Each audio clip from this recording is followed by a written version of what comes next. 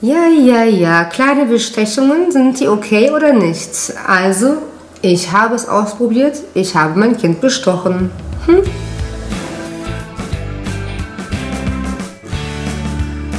Hallo meine Lieben.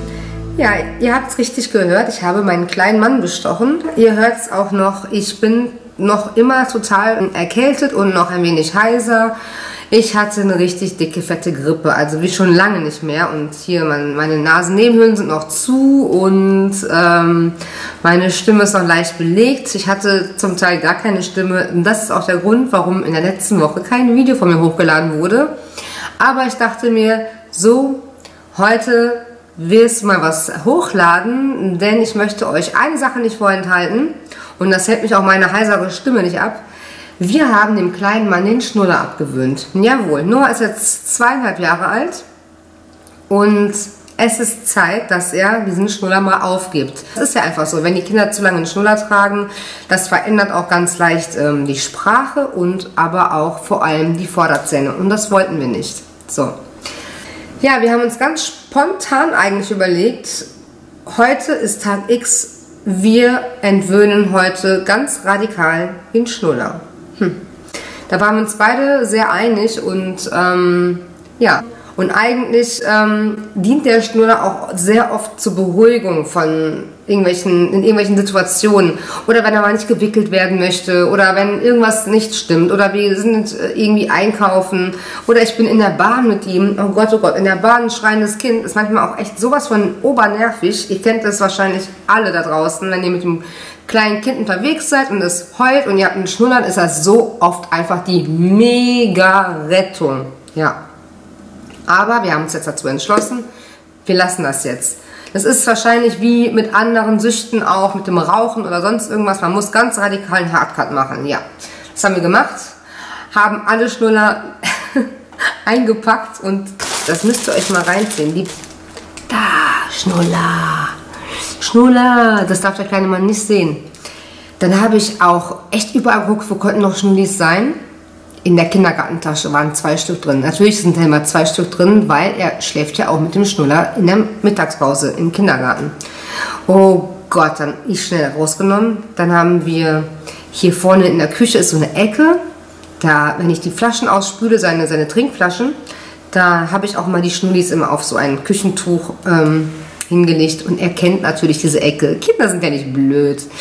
Ja, und dann ist der Kleine immer dahingegangen, Mama, äh, Nuki, Nuki und so weiter. Ja, dann habe ich mal gesagt, nein. Ihr wollt jetzt wissen, wie wir das gemacht haben, ne?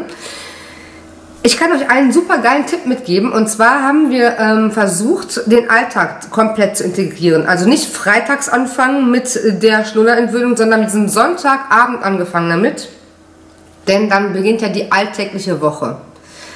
Und dann vergehen ja schon mal fünf Tage, bis dann wieder das Wochenende beginnt. Denn Wochenenden sind ja bekannt dafür, dass sie anders ablaufen als in der Woche. Auch für die, für die Kinder natürlich. Er hat ja nicht den geregelten Kita-Alltag, nein.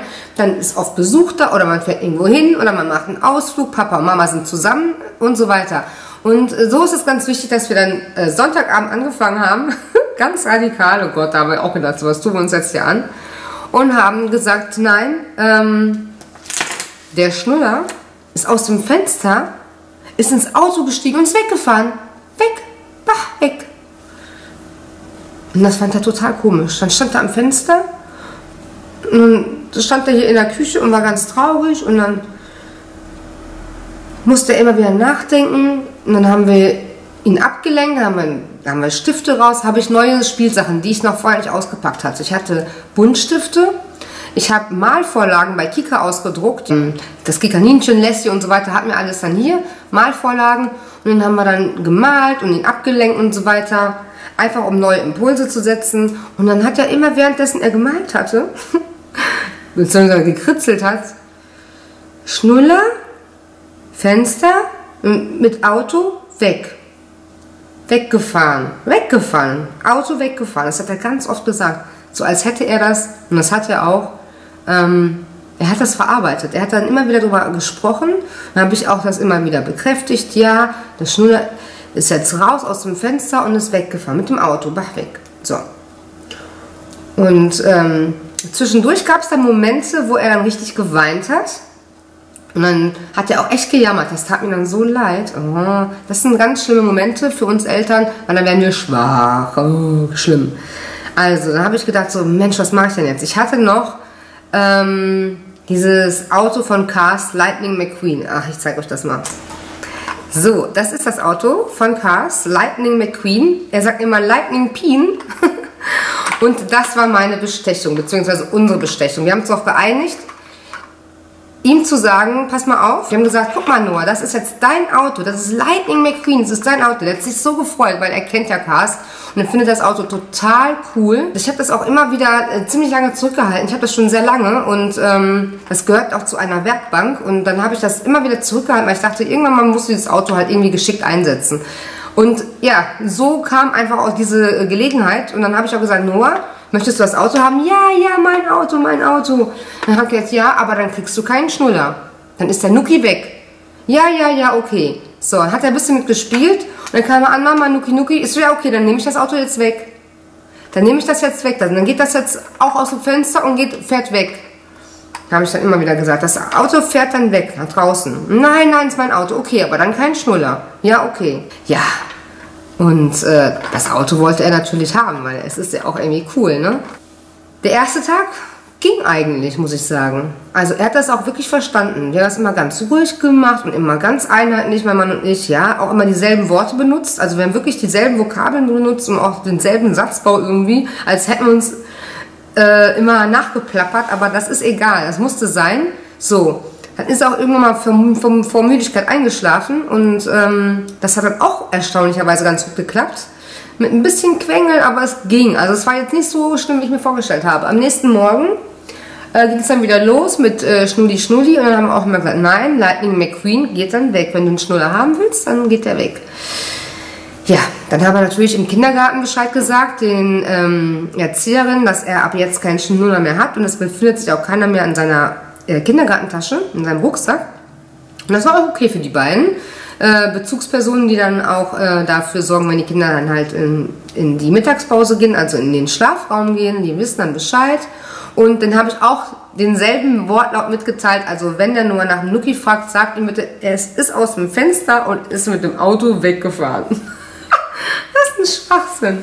Als Eltern kommt man echt in so eine Lügenspirale. Aber es ist egal. Also das war das muss ich jetzt mal kurz sagen. Also, das ging jetzt wirklich so, so zwei, drei Tage, hat er immer wieder, immer wieder mal nach dem Nuki gefragt, aber es hat sich wirklich in Grenzen gehalten.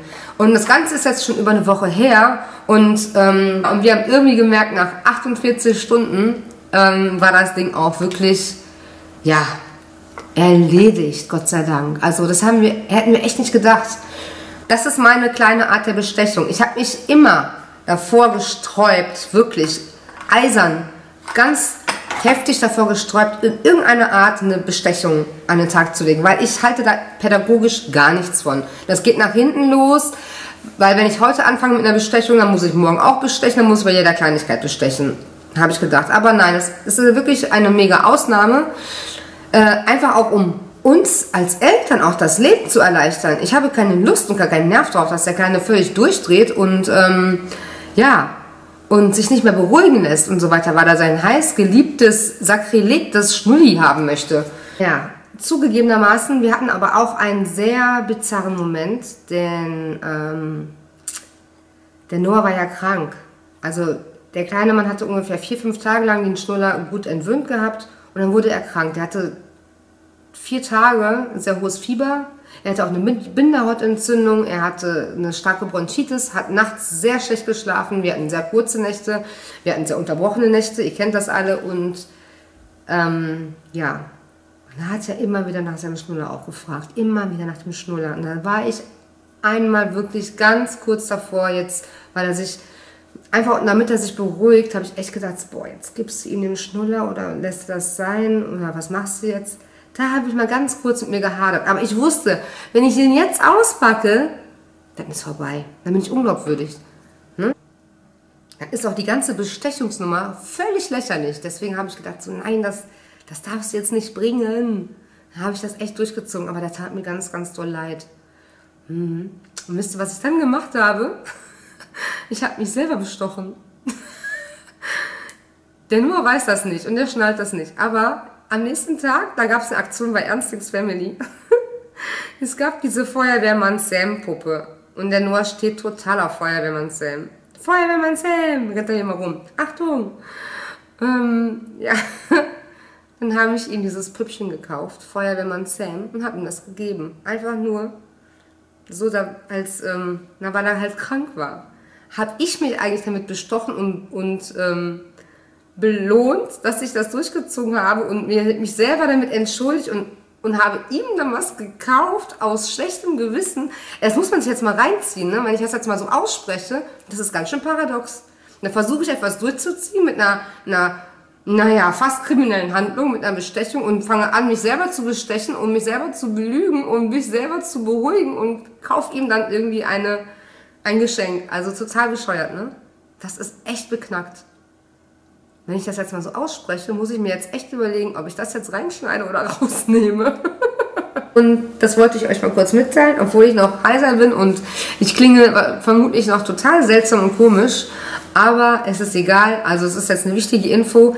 Und vor allem, ich muss jetzt auch mal diese Tüte hier entsorgen. Weil die lag jetzt die ganze Zeit in meinem Arbeitszimmer und der Noah durfte da nie rein, weil da diese blöden Schnuller auf meinem Schreibtisch lagen, wo der Mac auch steht, wenn ich schneide. Und ähm, jetzt darf er auch wieder reingehen, weil ich werde das jetzt schneiden, das Video hochladen für euch. Ich hoffe, es hat euch irgendwie geholfen, dieser kleine Tipp von mir. Und mich würde wirklich mal interessieren, habt ihr eure Kinder mal bestochen? Jetzt mal ganz ehrlich, liebe Leute. Ähm, Schreibt mir das in die Kommentare. Ich bin obergespannt darauf und vor allem, was ihr euch da habt einfallen lassen und ob das überhaupt okay ist für euch, Kinder zu bestechen. Naja, kleine Notlügen halt, ne? Okay, in diesem Sinne, macht's immer gut, wo immer ihr auch gerade seid und ich wünsche euch einen wunderschönen Tag. Tschüss und bye bye.